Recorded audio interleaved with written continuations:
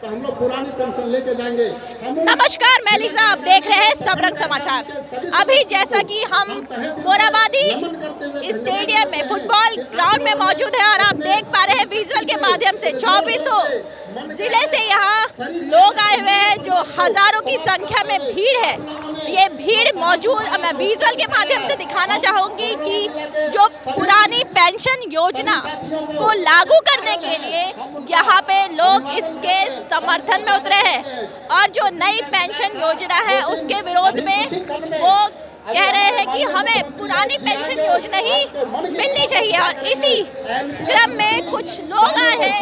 हम उनसे बात करेंगे। ये लोग उत्तराखंड से आए हैं और इनका इसमें क्या कुछ कहना है वो जानेंगे। क्या कुछ कहेंगे इस पेंशन योजना से रिलेटेड ये पुरानी पेंशन बहाली जो राष्ट्रीय आंदोलन नमो पे सुतरा हमारा जो राष्ट्रीय स्तर का संगठन है, जिसके आदरणीय विजय कुमार बंधु हमारे अध्यक्ष हैं, विगत कई सालों से सभी कर्मचारियों को जो विभिन्न सरकारों द्वारा, केंद्र सरकार द्वारा पुरानी पेंशन बंद करके नई पेंशन स्कीम, जो कि नो पेंशन स्कीम है, जो कि शेयर मार्केट पर आधारित है, और ऐसे समय में जब आदमी तीस साल, पैंतीस साल सरकार की सेवा करता है, जब शारीरिक रूप से अक्षम हो जाता है, उसको जो है असहाय होकर सरकारों ने छोड़ दिया, उस लड़ाई को, सामाजिक लड़ाई को और आर्थिक रूप से उस लड़ाई को लड़ने का काम विजय कुमार बंधु जी ने किया। उसी की प्रणीति है राजस्थान छत्तीसगढ़ के बाद। आज झारखंड में यह ऐतिहासिक दिन होने जा रहा है और पूरे देश के कर्मचारियों के अंदर उत्साह है। पूरा देश का कर्मचारी आज झारखंड की तरफ़ देख रहा है। आज पुरानी पेंशन बहाल होने जा रही है और धीरे धीरे नामों पर इसके बैनर तले पूरे देश में बढ़ता जाएगा और जब तक पूरे देश के कर्मचारियों की पुरानी पेंशन बहाल नहीं होगी पे संघर्ष करता रहेगा। अगर नई पेंशन योजना से क्या कुछ इसमें खराबी है ये भी बताएँ नई पेंशन स्कीम के बारे में मैं इतना बता दूँ यदि ये अच्छी होती तो हमारे माननीय विधायक माननीय सांसद लोग स्वयं इसको ले लेते। पुरानी पेंशन क्यों अपने पास रखते? हैं आज हमारे कोई माननीय विधायक गण है सांसद गण है जो चार चार पाँच पाँच पेंशन ले रहे हैं और जो हमारा कर्मचारी समूह का का समूह खा का फोर्थ क्लास का है जो जिसका जी, जीवन यापन का जो ज़रिया होता है पेंशन उसको बंद कर दिया गया। आर्थिक गुलामी की ओर कर्मचारियों को धकेला जा रहा है और इसकी लड़ाई को नमोपेश धीरे धीरे जीत रहा है और परिणति की ओर हम आगे बढ़ रहे हैं और हिमाचल गुजरात और उत्तराखंड में पुरानी पेंशन बहाल होगी। तो झारखंड में जब इतने सारे लोग आए हैं इस पेंशन योजना के समर्थन में क्या कुछ कहेंगे उन लोगों के लिए?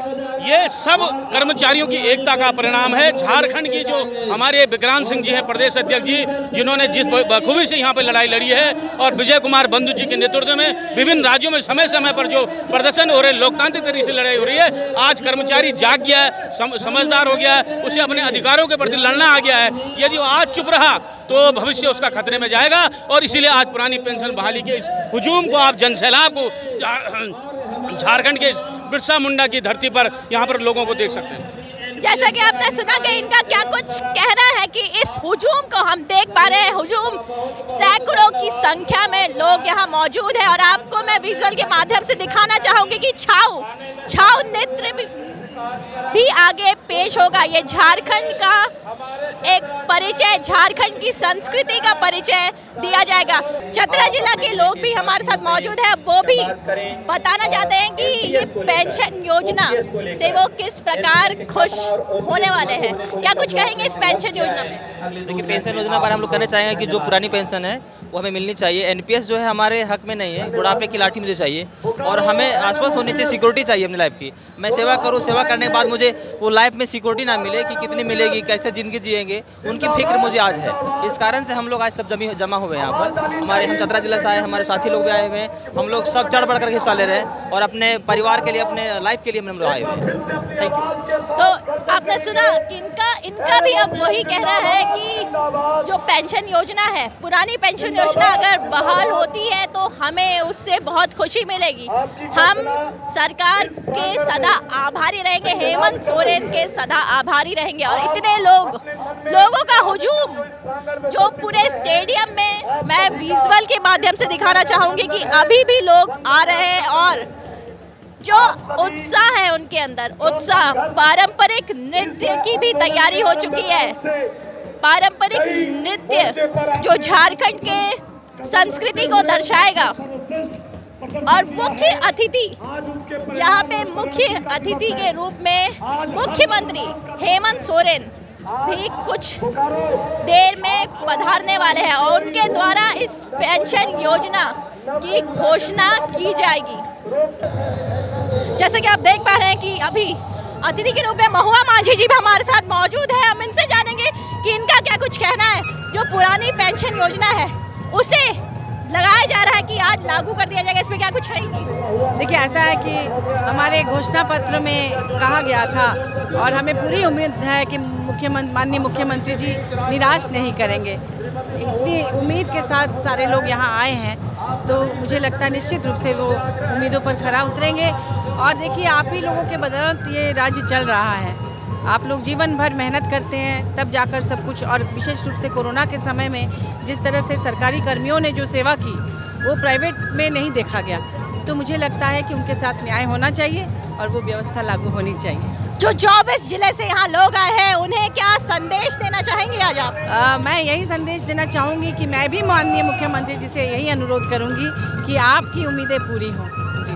और यहाँ पे जिस प्रकार से आप देख पा रहे हैं कि लोग बाहर से भी आए हैं बाहर से भी इसका समर्थन झारखंड के लिए कहा जा रहा है कि आज सबकी नज़र झारखंड में है कि यहाँ क्या ऐतिहासिक निर्णय लिया जाएगा। तो ये बहुत बड़ी बात है झारखंड के लिए। इसमें क्या कहेंगे? जी हमारे माननीय मुख्यमंत्री जी हमेशा से पूरे देश में मिसाल का, का मिसाल के रूप में दिखे हैं। आप आपको पता होगा कि कोरोना के समय में मजदूरों को हवाई जहाज़ से पहली बार माननीय मुख्यमंत्री जी लाए थे लेह लद्दाख से। उसके बाद जो रेलवे से भी काफ़ी मजदूरों को घर वापसी हुई उनकी उसको भी कई राज्यों ने अपनाया। तो मुझे लगता है कि इस बार भी निश्चित रूप से कोई ऐसा ऐतिहासिक कदम होगा जिसको पूरा देश अपनाएगा। तो आपने सुना कि महात्मा मांझी जी का क्या कुछ कहना है? इस सचिव हमारे साथ मौजूद है। राष्ट्रीय सचिव है, जो आए हुए हैदराबाद से। हम इनसे जानेंगे कि इनका, इन योजनाओं पे क्या कुछ कहना है। ये जो पुरानी पेंशन योजना है, इसमें क्या कहेंगे पुरानी पेंशन जो है, ये बुढ़ापे की लाठी है। It's an old age pension after retirement any employ teacher if he works for the 30 years and without pension his family will suffer so as per the supreme court judgment they have to implement the old pension scheme पुरानी pension बहाली करना ही चाहिए और जो नई pension योजना थी उस पे क्या कुछ कमियाँ हैं मैं भी ये भी जानना चाहूँ वो नो पेंशन स्कीम है आपने बहुत लोगों को देखा है वो जो रिटायर हुए हैं उनको महीने पेंशन मिलता है सात सौ रुपये एक हज़ार रुपये जो सरकारी कर्मचारी तीस हज़ार चालीस हज़ार जो उन्होंने एम्प्लॉयमेंट में था तब लिए सो अब रिटायर होने के बाद सात सौ हज़ार से क्या उसका घर चलेगा? ये ज़रूरी आप मान रहे हैं कि पुरानी पेंशन ही बहाल हो। जाए हाँ होनी चाहिए और झारखंड में आज होके रहेगी। इन्होंने साफ़ तौर पे कह दिया कि पुरानी पेंशन योजना बहाल होनी चाहिए और झारखंड में आज ये योजना बहाल होके रहेगी। अब देखने वाली बात है कि शाम को जब मुख्यमंत्री यहाँ पे आएँगे इसी मंच से मोराबादी फुटबॉल स्टेडियम से इसी मंच के द्वारा पुरानी पेंशन योजना की जो बहाल होने की सूचना देंगे। हमारे साथ मौजूद है विनय कुमार बंधु जी, जो राष्ट्रीय अध्यक्ष है। इस पेंशन की लड़ाई में उन्होंने भी कई योगदान दिए। आपको बता दें कि ये लखनऊ से आए हैं साहब और इनसे अब हम जानेंगे कि जो पेंशन योजना आखिर पुरानी पेंशन योजना को जो लागू करने की मांग इनकी क्यों रही? योजना की मांग इतनी लंबी चली आपकी लड़ाई बहुत लंबी चली क्या कुछ कहेंगे उसमें? नहीं लड़ाई तो बिल्कुल लंबी चली नो डाउट इसमें है। आ, पिछले सात आठ साल से लगातार पूरे देश के अंदर एनएमओपीएस के बैनर तले हम सब लड़ रहे हैं। और अच्छी बात यह है कि इस लड़ाई में हम सफलता की तरफ़ बढ़ रहे हैं। राजस्थान और छत्तीसगढ़ ने कर दिया है। आज झारखंड में माननीय मुख्यमंत्री जी आ रहे हैं। लड़ाई तो बड़ी चीज़ों के लिए लेनी पड़ती है। और लड़ेंगे जीतेंगे इसमें पूरा विश्वास। क्या लगता है साहब कि क्या मुख्यमंत्री जी के द्वारा जो पेंशन योजना है पुरानी पेंशन योजना दोबारा बहाल हो पाएगी? पूरी उम्मीद है। उम्मीदें हैं। अगर ये नहीं हुआ तो आगे क्या करेंगे आप? आगे हम लोग संघर्ष कर रहे हैं संघर्ष बढ़ेगा। संघर्ष रहेगा आगे। संघर्ष बढ़ेगा। और अब इसमें ये बताएँ कि जो पूरा जो योजना सरकार की तरफ़ से नई पेंशन योजना लागू हुई थी तो उसमें क्या कुछ खराबियाँ थी? वो पेंशन नई पेंशन व्यवस्था पेंशन व्यवस्था है ही नहीं। और जो पेंशन वो स्कीम है। और स्कीम सामाजिक कल्याण के लिए काम की नहीं होती है। सामाजिक सुरक्षा में योजना होती है स्कीम नहीं। वो स्कीम है एनपीएस इसलिए पेंशन व्यवस्था जो है ही नहीं हम उसको क्या करेंगे लेकर के? हम तो हो बहु पुरानी पेंशन। बस हो बहु हाँ तो इनका जो कहना है, आपने सुना राष्ट्र अध्यक्ष है ये, और इनका कहना है कि जो पुरानी पेंशन योजना हमें तो वही चाहिए और उसी से हमें फ़ायदा होगा। और अब आज कुछ ऐतिहासिक फैसले लिए जा सकते हैं इस मंच के द्वारा। मुख्यमंत्री खुद आएँगे और उनके द्वारा हो सकता है कुछ बड़े निर्णय ले लिए जाए, इनका मानना है। और इनका जिस तरीके से इन्होंने बताया तो हो सकता है कि आज वो ऐतिहासिक दिन आ ही गया है कि मुख्यमंत्री पुरानी पेंशन योजना को ही लागू करेंगे। और आप सब लोगों का पुरानी पेंशन बहाली की बात है। आप लोग चूँकि कर्मचारी हैं, बहुत सारी गतिविधियों को आप नज़रों, आपके नज़रों से गुजर रहा है। मैं उस पर बोलना नहीं चाहूँगा, लेकिन मैं आप लोग को आश्वस्त कर देता हूँ। और मेरा यह प्रयास है और इस शब्द के साथ मैं अपनी बातों को समाप्त करने की कोशिश करूँगा, क्योंकि कुछ कार्यक्रम और भी हमारा है। व्यवस्था थोड़ा सा अभी समय, चूँकि कम है और मंजिल थोड़ा लंबा हो गया, कोरोना ने थोड़ा हमारा समय खा लिया तो हम लोग गति देने की प्रयास में हैं। तो उसमें आप लोगों की भी सहयोग अपेक्षित रहेगी। जो सरकार की योजनाएँ हैं, जो धरातल पर है, वहाँ हर ज़रूरतमंदों तक कैसे पहुँचे, इसका एक ईमानदार प्रयास हम आप लोगों से अपेक्षा करेंगे। और आप लोगों की पुरानी पेंशन के लिए मैं कोशिश कर रहा हूँ कि 15 अगस्त तक ये हम आप लोगों तक ये उपहार के रूप में दें।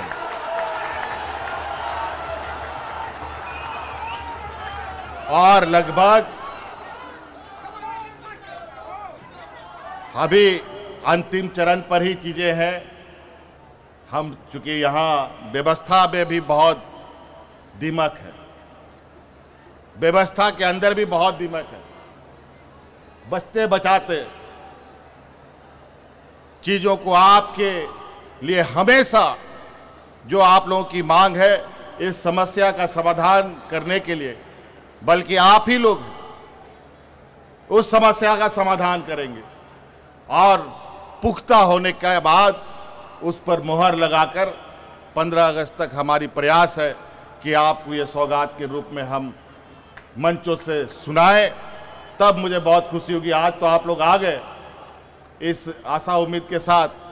लेकिन मैं प्रयास में था कि हो, लेकिन थोड़ा सा मुझे लगा कि इतने सारे समस्याओं के बीच में इसको इस बार नहीं घोषित किया गया। लेकिन मैं चाहूँगा कि मैं अगली बार जब भी मंच पे आऊँ तो कागज़ के साथ आप लोगों के समक्ष मैं मंच पर उसको दिखा सकूँ। तो साथियों यहाँ पर सबसे पहले तो अलग अलग राज्य से आए यहाँ तेलंगाना से भी आए हैं। और तेलंगाना के लो, लोगों का भी बहुत हमारे प्रति आभार रहता है। मैं आपको बता दूँ आदरणीय गुरुजी ने इस राज को अलग किया है इससे कोई इनकार नहीं कर सकता। लेकिन मैं आपको यह भी बता दूँ तेलंगाना राज को अलग करने में भी आदरणीय दिसोम गुरु जी की एक अहम भूमिका रही है, जिसके वजह से वो राज आज अस्तित्व में आया है। तो आज वहाँ के लोग भी उनको काफ़ी आभार करते हैं। आज वहाँ के भी सदस्य आए हैं। मैं इनका भी झारखंड में बहुत बहुत स्वागत करता हूँ। हज़ारों की संख्या में इस स्टेडियम में भीड़ मौजूद है। ये लोग, वो की मांग है कि पुरानी पेंशन योजना आनी ही चाहिए। इससे लोगों को फ़ायदा होगा। अब कि क्या? इतने बड़े जन सैलाब के बाद क्या सरकार इस योजना पे कार्य करती है? क्या इन लोगों की जो उम्मीद लगी हुई है सरकार से, जो इनकी मांग है सरकार से, वो पूरी होगी?